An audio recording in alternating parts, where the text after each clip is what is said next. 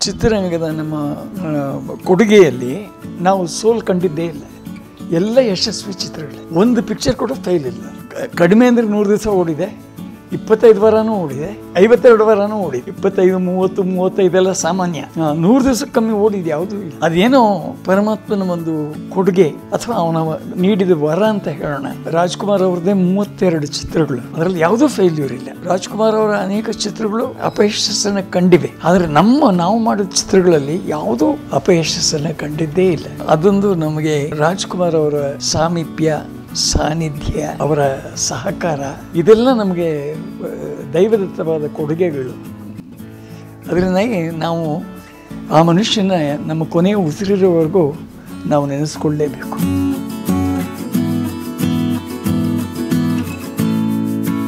ಅವಶ್ಯಕವಾಗಿ ನೋಡಿ ಎಲ್ಲದಕ್ಕಿಂತ ಮುಖ್ಯವಾಗಿ ಸಬ್ಸ್ಕ್ರೈಬ್ ಮಾಡಿ. Thank you.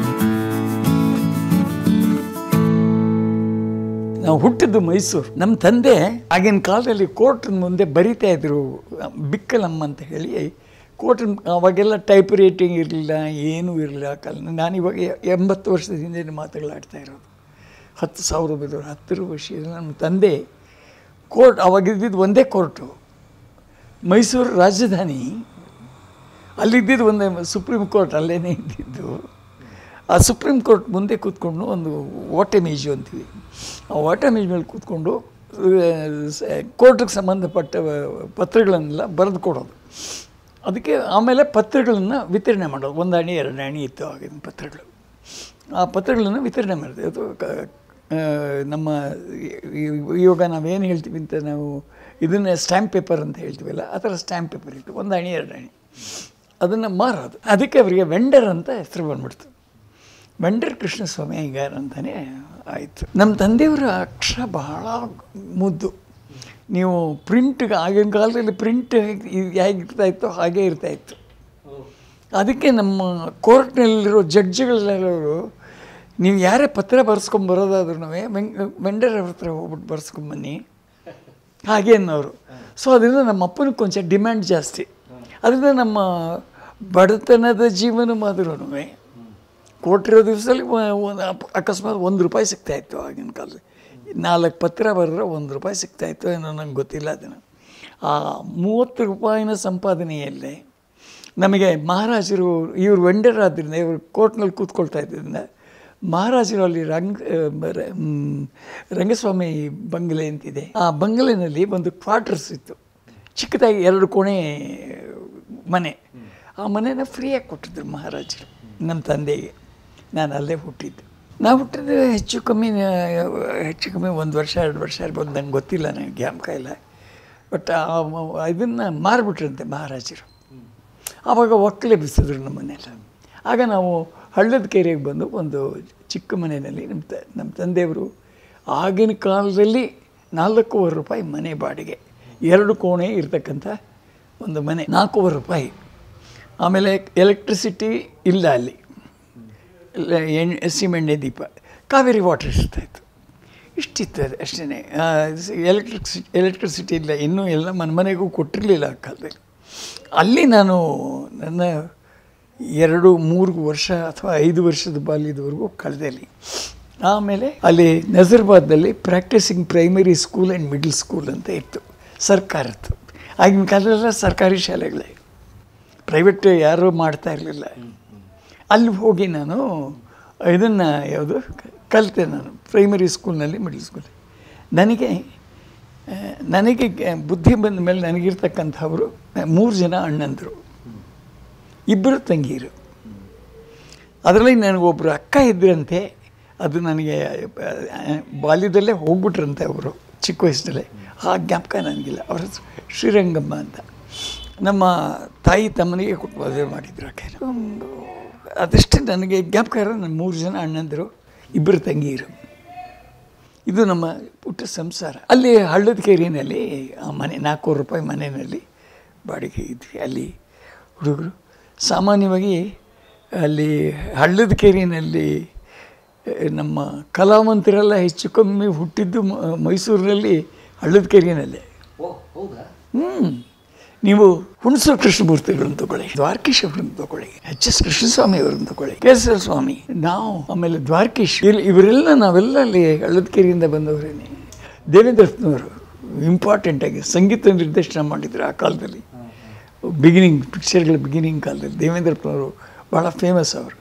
ಪಿಟೀಲ್ ದೇವೇಂದ್ರಪ್ಪನವರು ಅಂತಂದರೆ ಭಾಳ ಫೇಮಸ್ ಅವರು ದೇವೇಂದ್ರಪ್ಪನವರು ಅಲ್ಲಿದ್ದರು. ಆಮೇಲೆ ರಾಜೇ ಹಿಂಗಾರ್ ಇದ್ದರು ಅಂತ ಕಾಣಿಸುತ್ತೆ. ಕೆಲವು ದಿವಸಗಳು ಆಮೇಲೆ ಶಿಫ್ಟ್ ಮಾಡಿಕೊಂಡ್ರು ಅವರು. ಕೆಲವು ದಿವಸಗಳು ರಾಜೇ ಇದ್ದರು ಈ ಥರ ಅನೇಕ ಕಲಾವಿದರ ಒಂದು ತವರು ಮನೆ ಅಲ್ಲಿ ಹಳ್ಳದಕೆರೆ ಆ ಹಳ್ಳದಕೆರೆನಲ್ಲಿ ಅಲ್ಲೇ ಆಟ ಪಾಠ ಅಲ್ಲೇ ವಿದ್ಯಾಭ್ಯಾಸ, ಮೂರನೇ ಸ್ಟ್ಯಾಂಡರ್ಡ್, ಮೂರನೇ ಕ್ಲಾಸ್ವರೆಗೂ ಅಲ್ಲಿ ಓದಿದೆ. ಅಲ್ಲಿ ನಮ್ಮ ದೊಡ್ಡಣ್ಣ ಅವರು B A B T B E D ಮಾಡಿದ್ರು ಅವರು. ಅದು B A B T M R S T ಮಾಡಿದರು. ಅಂದರೆ member of the royal society of teachers ಅಂತ ಇಂಗ್ಲೆಂಡ್ದು ಡಿಗ್ರಿ ತೊಗೊಂಡಿದ್ರು. ಅದರಿಂದಾಗಿ ಅವ್ರಿಗೆ ಸರ್ಕಾರಿ ಮಂಡಿಪೇಟೆ ಸ್ಕೂಲ್ ಅಂತಿತ್ತು ಅಲ್ಲಿ ಮೈಸೂರಿನಲ್ಲಿ. ಅಲ್ಲಿ ಹೆಡ್ ಮಾಸ್ಟ್ರಾಗಿ ಕೆಲಸ ಮಾಡ್ತಾಯಿದ್ರು ಬಟ್ ನಮ್ಮನ್ನು ಪ್ರಾಕ್ಟೀಸಿಂಗ್ ಡ್ರೈವರ್ಸ್ ಮನೆಗೆ ಆ ಥರ ಇತ್ತಲ್ಲ, ಅಲ್ಲಿ ಹಾಕಿದ್ರು ಅವರು. ನಮ್ಮ ಎರಡನೇ ಅಣ್ಣ, ಅಲ್ಲಿ ಕೃಷ್ಣರಾಜೇಂದ್ರ ಮಿಲ್ಸ್ ಅಂತ ಮಹಾರಾಜರದ್ದು ಮಿಲ್ಸ್ ಇತ್ತು. ಅಲ್ಲಿ ಕೆಲಸ ಮಾಡ್ತಾಯಿದ್ದ ಅಲ್ಲಿ ಕೆಲಸ ಮಾಡ್ತಾಯಿದ್ದವನು ಮಿಲ್ ಆವಾಗ ವಾರ್ ಟೈಮ್ ಬಂದು.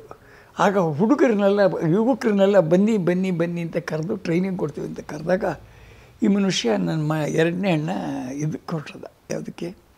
ಮಿಲ್ಟ್ರಿಗೆ ಹೊರಟದ ಮಿಲ್ಟ್ರಿಗೆ ಹೋಗಿ ಈ ಬಿಕೆಮ್ ಎ ಪೈಲಟ್ ಹ್ಞೂ ಈ ಬಿಕೆಮ್ ಪೈಲಟ್ ಪೈಲಟಾಗಿ ಅದು ಅಪ್ಪ ಅವನು ಬರ್ತಾ ಇದ್ದಿದ್ದು ನಮ್ಮ ತಾಯಿನ ನೋಡಬೇಕು ಅಂತ ಹೇಳಿ ನಮ್ಮ ಬೆಂಗಳೂರಿಗೆ ಬರ್ತಾ ಇದ್ದ ಫ್ಲೈ ಫ್ಲೈಟ್ ಪೈಲಟ್ ಮಾಡ್ಕೊಂಡು ಬರ್ತಾ ಇದ್ದಿದ್ದು ಪ್ಲೇನ್ ಕ್ರ್ಯಾಶ್ ಆಗೋಗಿತ್ತು.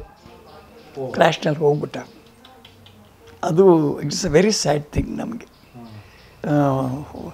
ಅವನು ಆಗ್ರಾಯಿಂದ ಬರ್ತಾಯಿದ್ದೆ ಆಗ್ರಾದಲ್ಲಿ ಹೆಡ್ ಕ್ವಾರ್ಟರ್ಸ್ ಆಗ್ರಾಯಿಂದ ಯಾರಿಗೋ ಬೇರೆಯವ್ರಿಗೆ ಒಂದು ಓವರಾಲ್ ಹಿಂಗೆ ಹೆಚ್ಚೆ ಎಲ್ಲ ಮಾಡ್ತಾ ಇತ್ತು ಅವಾಗ ಪ್ಲೇನುಗಳನ್ನು.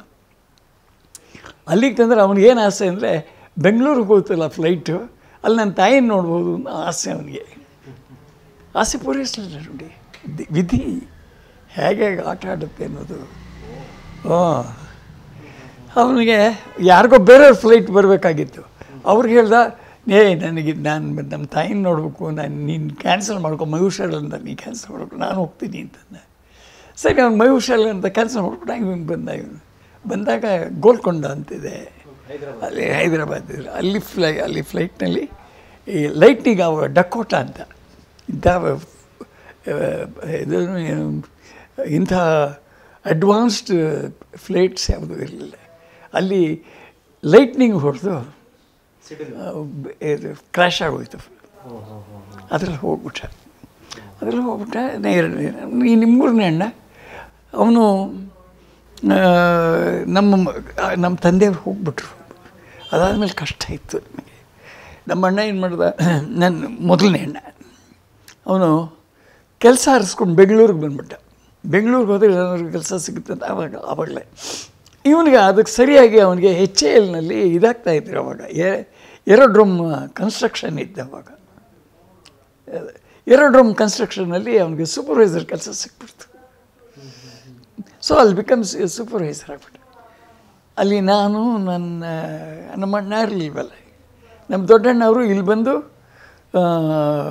ಕೆ ಜಿ ಎಫ್ಗೆ ಬಂದು ಸ್ಕೂಲ್ನಲ್ಲಿ ಟೀಚರ್ ಆಗಿದ್ದರಲ್ಲಿ ಹೈಸ್ಕೂಲ್ನಲ್ಲಿ ಈ ಬಿಕಮ್ ದ ಹೆಡ್ ಮಾಸ್ಟರ್ ಅಲ್ಲಿ ಮಿಡ್ಲ್ ಸ್ಕೂಲ್ನಲ್ಲಿದ್ದರು ಹೈಸ್ಕೂಲ್ ಹೆಡ್ ಆಮೇಲಿಂದ ಆರ್ ಬಿ ಐ ನಮ್ಮ ಇಲ್ಲಿ ಕಂಟೋನ್ಮೆಂಟ್ನಲ್ಲಿದೆ ಆರ್ ಬಿ ಐ ನಮ್ಮ ಸ್ಕೂಲ್ ಅಂತಿದೆಯಲ್ಲ ಹೈಸ್ಕೂಲ್ ಆ ಹೈಸ್ಕೂಲ್ಗೆ ಪ್ರೆಸ್ ಈ ಪ್ರಿನ್ಸಿಪಾಲ್ ಆದರು.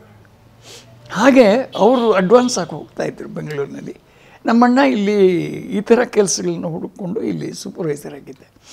ಆಗ ನಾನು ಹೆಚ್ಚು ಕಮ್ಮಿ ಮಿಡಲ್ ಥರ್ಡ್ ಕ್ಲಾಸ್ನಲ್ಲಿ ಓದ್ತಾ ಇದ್ದೆ ಮೈಸೂರಿನಲ್ಲಿ. ನನ್ನ ಮೊದಲನೇ ತಂಗಿನ ನನ್ನ ಮಾವ ಅವರು ದತ್ತು ತೊಗೊಂಡು ಹೊರಟೋದ್ರು. ಅಲ್ಲಿ ನನ್ನ ತಾಯಿ ತಂಗಿ ಇಬ್ಬರೇ ನಾನು ಇದಕ್ಕೆ ಬಂದುಬಿಟ್ಟೆ, ಇಲ್ಲಿಗೆ ಬೆಂಗಳೂರಿಗೆ. ಯಾಕಂದರೆ ನಮ್ಮಣ್ಣ ಕರೆಸ್ಕೊಂಬಿಟ್ರು ಬಂದ್ಬಿಡು ಇಲ್ಲಿ, ನಾನು ಮುಂದಿನ ವಿದ್ಯಾಭ್ಯಾಸನ ಕೊಡಿಸ್ತೀನಿ ಅಂತ. ನಾನಿಲ್ಲಿ ಫೋರ್ಟ್ ಮಿಡಲ್ ಸ್ಕೂಲ್ ಅಂತಿದೆ. ಶಂಕರಪುರಂನಲ್ಲಿ ಅವ್ರ ಮನೆ ನಮ್ಮ ದೊಡ್ಡಣ್ಣ ಅವ್ರ ಮನೆ. ಅವ್ರಿಗೆ ಅಲ್ಲಿ ಆರ್ ಬಿ ಐ ನಮ್ಮ ಇದಿತ್ತಲ್ಲ?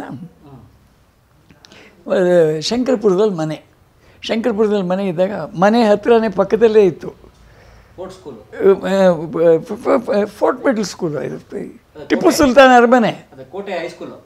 ಕೋಟೆ ಅದು ನಮ್ಮ ಫೋರ್ಟ್ ಮಿಡಲ್ ಸ್ಕೂಲ್ ಅಂದರೆ ಫೋರ್ಟ್ ಹೈಸ್ಕೂಲು ಹಿಂದ್ಗಡೆದೇನೆ ಅದು. ಅಲ್ಲಿ ಮಿಡ್ಲ್ ಸ್ಕೂಲ್ ಅದು. ಮಿಡ್ಲ್ ಸ್ಕೂಲ್ ಅಲ್ಲಿ ಓದ್ದೇನೆ ಅಲ್ಲಿ ನಾನು ಮಿಡ್ಲ್ ನಾಲ್ಕನೇ ಕ್ಲಾಸಿಗೆ ಬಂದೆ. ಅಲ್ಲಿಂದ ಬೆಂಗಳೂರಿನಲ್ಲಿ ವಿದ್ಯಾಭ್ಯಾಸ ಅಲ್ಲಿಂದ ನಾಲ್ಕು ಆದ ತಕ್ಷಣ ಫೋರ್ತ್ ಫಾರ್ಮ್ ಅಂತ ಬರ್ತಾ ಇದ್ದಾಗ ಫೋರ್ತ್ ಫಿಫ್ತ್ ಸಿಕ್ಸ್ತ್ ಅಂತ S S L C sixth ಫಾರ್ಮ್ಗೆ ಎಸ್ ಎಸ್ ಎಲ್ ಸಿ ಇಂದ ಬಂದೆ. ಆಗ ನಮ್ಮಣ್ಣವರು ಮನೆ ಎದುರುಗಡೆನೇ ಇದ್ದೆ ಬೆಂಗಳೂರು ಹೈಸ್ಕೂಲ್ಗೆ ಹಾಕಿದ್ರು ನನ್ನ. ಅವ್ರು ನ್ಯಾಷನಲ್ ಹೈಸ್ಕೂಲಿಗೆ ಟ್ರಾನ್ಸ್ಫರ್ ಆಗಿಬಿಟ್ರು. ಆರ್ ಬಿ ಎನ್ ಎಮ್ಮಿಂದ superintendent he become superintendent of primary and middle sections of national high school ಆಗ ಸದಾಶಿವಯ್ಯನವರು ಇದ್ದರು ಇದರಲ್ಲಿ ನ್ಯಾಷನಲ್ ಹೈಸ್ಕೂಲಲ್ಲಿ ಅವ್ರ ಕೆಳಗೆ ಅವ್ರಿಗೆ ಕ, ಇಷ್ಟಪಟ್ಟು ಕರೆಸ್ಕೊಂಡ್ರು. ಇವರ ಹಿಸ್ಟ್ರಿನಲ್ಲಿ ನಮ್ಮಣ್ಣ ದೊಡ್ಡ ಇದು. ಹಿಸ್ಟ್ರಿ ಆ್ಯಂಡ್ ಇಂಗ್ಲೀಷ್ ಭಾಳ ಚೆನ್ನಾಗಿತ್ತು ಅವರಿಗೆ. ಸೊ ಅದನ್ನಾಗೆ ನನಗೇನಾಯ್ತು, ನಾನು ನಿನಗೆ ಕನ್ನಡ ಮೀಡಿಯಮ್ ಬೇಕಾದರೆ ನಮ್ಮ ಸ್ಕೂಲಿಗೆ ಬಾ. ಇಂಗ್ಲೀಷ್ ಮೀಡಿಯಮ್ ಬೇಕಾದರೆ ಅದಕ್ಕೂ I advise you to take English medium ಅಂದ್ಬಿಟ್ರು. So I went go for I went for Indi English medium ಅಲ್ಲಿ ನನಗಿಂತ, ನನಗೆ ಕನ್ನಡದ ಒಂದು ನನಗೆ, ನನಗಿದ್ದ ಒಂದು ಅಭಿಮಾನಕ್ಕೆ ನನಗೆ ಅದನ್ನು ಪ್ರೋತ್ಸಾಹ ಕೊಟ್ಟವರು ವೆಂಕಟ ಸುಬ್ಬಯ್ಯನವರು ನಮ್ಮ ಕನ್ನಡ ಮಾಸ್ಟ್ರು. ಜಿ ವೆಂಕಟ ಸುಬ್ಬಯ್ಯನವರು. ಸ ಶತಾಯುಸಿಗೆ ನಮ್ಮ ಬೆಂಗಳೂರು ಹೈಸ್ಕೂಲಲ್ಲಿ ಕನ್ನಡ ಮಾಸ್ಟ್ರು. ಅವರು ಇಂಗ್ಲೀಷ್ಗೆ ವಿ ಟಿ ಶ್ರೀನಿವಾಸನ್ ಅಂತಿದ್ದರು ಅವರಿಬ್ಬರ ಒಂದು ಎಂಥ ವಿದ್ಯಾವಂತರು ಅಂತಂದರೆ ಆ ವಿದ್ಯೆನ ಹುಡುಗರಿಗೆ ಧಾರಾಳವಾಗಿ ಹಂಚ್ಬಿಟ್ರು. ನನ್ನ ಜೊತೆ ನನ್ನ ಕ್ಲಾಸ್ಮೇಟ್ ವಿ ಎನ್ ಸುಬ್ರಾವ್. ನಾನು ಅವನು ಪಕ್ಕದ ಪಕ್ಕದಲ್ಲಿ ಕೂತ್ಕೊತಾರೆ ನಾನು ಬಿ ಎನ್ ಸುಬ್ರಾವ್. ಈ ಥರ ಇದರ ಒಂದು ಒಂದು ಒಳ್ಳೆ ವಾತಾವರಣದಲ್ಲಿ ನನ್ನ ಎಜುಕೇಷನ್ ಎಲ್ಲ ಮುಗೀತು. ಹಳದಕೆರೆನಲ್ಲಿ ಮಾಸ್ಟರ್ ಹಿರಣ್ಣಯ್ಯನವರು. ಹಳದ್ಕೆರೆ ಹಳ್ಳದಕೆರೆನೇ ಅದು ಮಾಸ್ಟರ್ ಹಿರಣ್ಣಯ್ಯನವರು. ಹಿರಣ್ಣಯ್ಯನವರು ಮಾಸ್ಟರ್ ಹಿರಣ್ಣಯ್ಯನವರು ಎಲ್ಲ ಅಲ್ಲೇನೆ ಹಳ್ಳದಕೆರೆನೇ ಹಳ್ಳದಕೆರೆ ಅವನು ನಾನು ಎಲ್ಲ ಚಿಕ್ಕ ಚಿಕ್ಕ ಹುಡುಗರಾಗಿದ್ದಾಗ ಸದಾ ಇದನ್ನು ಯಾವುದು ದೇವದಾಸಿ ನಾಟಕ ಆಡ್ತಾ ಇದ್ವಿ. ಸುಮ್ ತಮಾಷೆ. ಚಿಕ್ಕ ಚಿಕ್ಕ ಹುಡುಗರು ಮನೆಯಲ್ಲೇ. ಅವ್ರ ಮನೆಯಲ್ಲಿ. ಅವ್ರ ಮನೆಯಲ್ಲಿ ಆಡ್ತಾ ಇದ್ವಿ. ನಾನು ಸಕಾರಾಮ ಅವನು ನಾಜುಕಯ್ಯ. ಈ ಥರ ಸುಮ್ಮನೆ ತಮಾಷೆಯಾಗಿ ನಾಟಕಗಳು ಪ್ರಾಕ್ಟೀಸ್ ಮಾಡ್ಕೊಳ್ತಾ ಇದ್ವಿ ನಮ್ಮ ಪಾಡಿಗೆ ನಾವು ಅಲ್ಲಿ ಮಾಸ್ಟರ್ನೇ ನನಗೆ ಬಚ್ಪನ್ ಕದೋಸ್ ಅಲ್ಲಿ ಹಾಗೆ ಇಲ್ಲೇನಾಗೋಯಿತು ನಾನು ಇಲ್ಲಿ ಕಾಲೇಜಲ್ಲಿ ಓದೋವಾಗ ಏನಾಯಿತು? ನಾಟಕಗಳು ಮಾಡಬೇಕಾಯಿತು. ವೆಂಕಟ ಸುಬ್ಬಯ್ಯನವರು, ಏ, ನಮ್ಮ ಹುಡುಗರನ್ನೆಲ್ಲ ಹಾಕಿ, ನಮ್ಮ ವಾರ್ಷಿಕೋತ್ಸವದಲ್ಲಿ ನಾಟಕ ಮಾಡಬೇಕು ಅಂದರು. ಆಗ ಅವರು ಕೈಲಾಸಂ ನಾಟಕನ ಆರಿಸ್ಕೊಂಡ್ರು. ಟೊಳುಗಟ್ಟಿ ಅದರಲ್ಲಿ ಸಾತು ತವ್ರ ಮನೆ, ಪಾತು ತವ್ರ ಮನೆ ಅಂತ ಬರ್ತದೆ. ಅದರಲ್ಲಿ ಯಾರನ್ನ ಒಂದು ಹೆಣ್ಣು ಪಾತ್ರ ಮಾಡೋದಕ್ಕೆ ಯಾರಾದರೂ ಬೇಕಲ್ಲ ಅಂತ ಹೇಳ್ಬಿಟ್ಟು ಹುಡುಕ್ತಾ ಇದ್ರೆ ಯಾರೂ ಸಿಕ್ಕಲಿಲ್ಲ ಆಗ ನಾನು ಒಂದು ಕೊಂಚ ನಾನು ರೂಪದಲ್ಲಿ ಚೆನ್ನಾಗಿದ್ದಿದ್ರಿಂದ ಕಾಲದಲ್ಲೇ ಆ ವಯಸ್ಸಲ್ಲಿ ಚೆನ್ನಾಗಿದ್ದಿದ್ದರಿಂದ ನೀ ಮಾಡ್ತೀಯ ಅಂತ ಕೇಳಿದ್ರು ನಾನು ಮಾಡ್ತೀನಿ ಅಂತಂದೆ. ನಾನು ಮಾಡ್ತೀನಿ ಅಂದೆ. ಸರಿ ಪ್ರಾಕ್ಟೀಸ್ ಮಾಡಿದ್ರು ವೆರಿ ಗುಡ್ ವೆರಿ ಗುಡ್ ಅಂತ ಹೇಳಿ ನನಗೆ ಆವಾಗ ಏನಾಯಿತು ನಾಟಕಗಳಲ್ಲಿ ಹೆಣ್ಣು ಪಾರ್ಟ್ ಮಾಡೋದು ಸ್ಟಾರ್ಟ್ ಮಾಡಿಬಿಟ್ಟೆ. ಯಾಕೆಂದರೆ ಮಕ್ಕಳು ಯಾರೂ ಬರ್ತಾ ಇರಲಿಲ್ಲ ಮುಂದೆ. ಇವಾಗಿದೆ ಇವಾಗೇನು ನಾ ಮುಂದು ತಾ ಮುಂದು ಅಂತ ಬರ್ತಾ ಇದ್ದಾರೆ.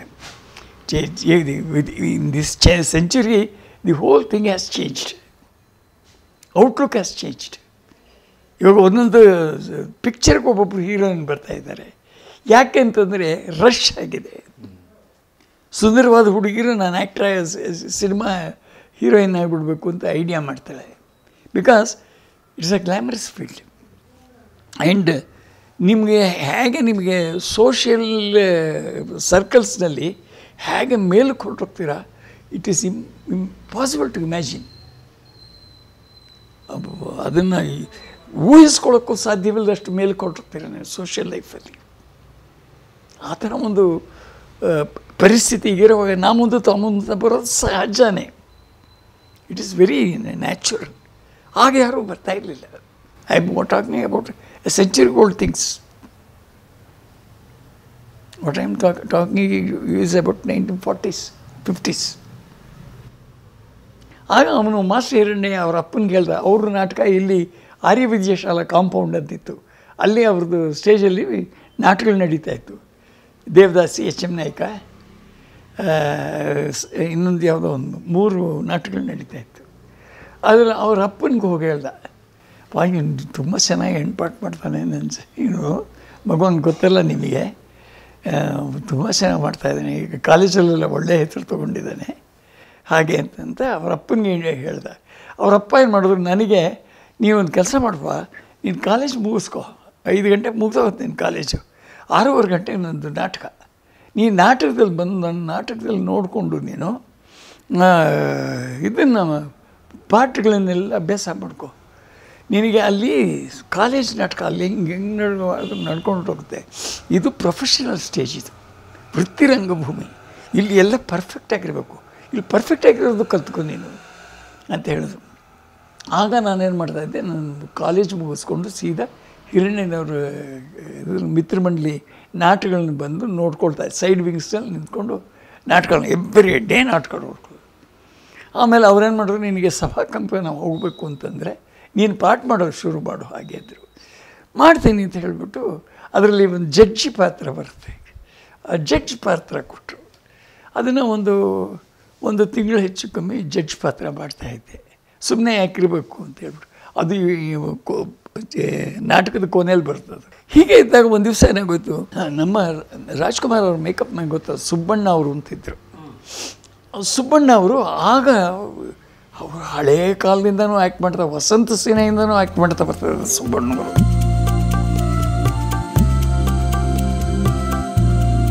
ಅವಶ್ಯಕವಾಗಿ ನೋಡಿ ಎಲ್ಲದಕ್ಕಿಂತ ಮುಖ್ಯವಾಗಿ ಸಬ್ಸ್ಕ್ರೈಬ್ ಮಾಡಿ. ಥ್ಯಾಂಕ್ ಯು ಆಚೆ ಕಡೆ ಬರ್ತಾ ಇದ್ದಾಗೇನೆ ನೋಡಪ್ಪ.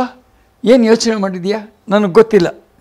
ನೀನು ಬರಲೇಬೇಕು ಅಂತ ಹೇಳ್ಬಿಟ್ಟು ನನ್ನ ಕೈನಲ್ಲಿ ಏನೋ ಇಟ್ಬಿಟ್ಟು ಹೊರಟೋದ್ರು ಅವರು. ಅವ್ರು ಆ ಕಡೆ ಹೋದ್ಮೇಲೆ ನಾನು ತೆಗೆದು ನೋಡಿದ್ರೆ ನೂರು ನೂರು ರೂಪಾಯಿ ನೋಟು ಮೂರು ಇತ್ತು ಅದರಲ್ಲಿ ನನ್ನ ಲೈಫಲ್ಲಿ ನಾನು ನೋಡಿಲ್ಲ ಒಂದು ನೂರು ರೂಪಾಯಿ ನೋಟು. ಸ್ನೇಹಿತರೆ, ನೀವು ಯಾವುದಾದ್ರೂ ಶಾರ್ಟ್ ಫಿಲಮ್ ಡಾಕ್ಯುಮೆಂಟ್ರಿ ಅಥವಾ ಇತ್ಯಾದಿ ಕ್ರಿಯೇಟಿವ್ ವರ್ಕ್ ಮಾಡಿದರೆ ನೀವು ಅದನ್ನು ನಮಗೆ ಕಳಿಸ್ಕೊಡ್ಬಹುದು. ಕಲಾ ಮಾಧ್ಯಮದ ತಂಡ ಅದನ್ನು ನೋಡುತ್ತೆ, ರಿವ್ಯೂ ಮಾಡುತ್ತೆ ಕ್ವಾಲಿಟಿ ಚೆನ್ನಾಗಿದ್ದರೆ ಮತ್ತು ನೀವು ನಮ್ಮ ನಿಬಂಧನೆಗಳಿಗೆ ಬದ್ಧರಾಗಿದ್ದರೆ ನಿಮ್ಮ ವಿಡಿಯೋ ಕಲಾ ಮಾಧ್ಯಮ ಯೂಟ್ಯೂಬ್ ಚಾನಲ್ನಲ್ಲಿ ಬರುತ್ತೆ. ಹಾಗಾಗಿ ಯೋಚನೆ ಮಾಡಿ ನಿಮ್ಮ ಸ್ನೇಹಿತರಿಗೂ ತಿಳಿಸಿ. ಸ್ನೇಹಿತರೆ ಕಲಾ ಮಾಧ್ಯಮ ಯೂಟ್ಯೂಬ್ ಚಾನಲ್ನ ಸಬ್ಸ್ಕ್ರೈಬ್ ಮಾಡೋದು ಮರಿಬೇಡಿ ಹಾಗೂ ಪಕ್ಕದಲ್ಲಿರುವ ಬೆಲ್ ಐಕಾನ್ ಕೂಡ ಒತ್ತಿ ಫೇಸ್ಬುಕ್ ಇನ್ಸ್ಟಾಗ್ರಾಮ್ ಟ್ವಿಟರ್ನಲ್ಲೂ ನೀವು ನಮ್ಮನ್ನ ಫಾಲೋ ಮಾಡಿ ಹಾಗೂ ಟೆಲಿಗ್ರಾಮ್ ಚಾನಲ್ ಕೂಡ ಜಾಯ್ನ್ ಆಗಿ. ಮತ್ತು ವಿಡಿಯೋ ಪ್ರೊಡಕ್ಷನ್ ಸರ್ವಿಸ್ ಬೇಕು ಅಂತಂದ್ರೆ ನೀವು ನಮ್ಮನ್ನ ಮುಕ್ತವಾಗಿ ಕಾಂಟ್ಯಾಕ್ಟ್ ಮಾಡಿ.